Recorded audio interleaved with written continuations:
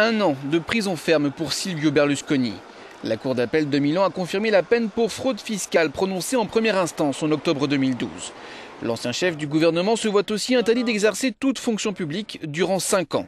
Dès l'annonce, plusieurs proches du Cavaliere sont montés au créneau pour dénoncer une persécution judiciaire.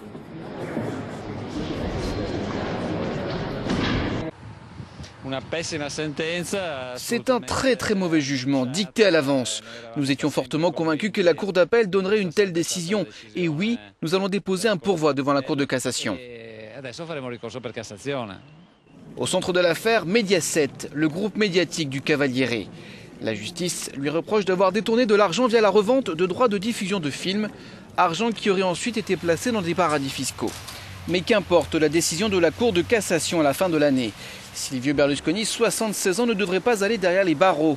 D'après le droit italien, tout condamné âgé de plus de 75 ans à deux ans de prison ferme peut être assigné à résidence ou confié aux services sociaux.